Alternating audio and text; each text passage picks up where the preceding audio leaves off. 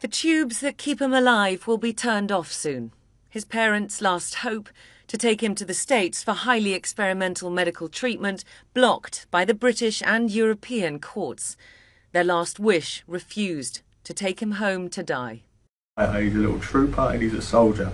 He will fight and he, he'd fight to the very end and he's still fighting, but we're not allowed to fight for him anymore. Our parental rights have been stripped away. We, we can't even take our own son home to die.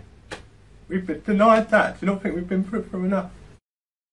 Little Charlie Gard was born healthy, but diagnosed the following month with a rare genetic disorder, a form of mitochondrial disease, which has left him, his doctors say, with irreversible brain damage.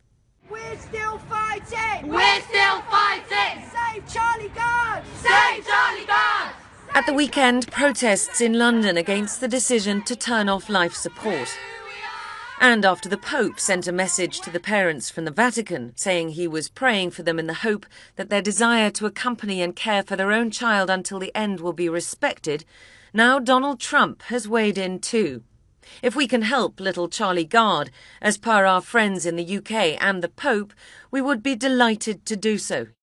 Charlie's case is extremely complicated. The treatment that the US is offering is called nucleoside bypass therapy, and it's never been tested on a strain of the disease as rare as Charlie's is. And even the US specialist who's offering it says he thinks it's unlikely that it'll be able to reverse Charlie's brain damage. And that's why the British courts ruled the way that they did. They said they didn't want Charlie to be the subject of medical experimentation if there was no chance of him getting better, that his right to die with dignity must come first. But that's not the way his parents see it. Sadly for them, the pleas of a pope and a president already too late.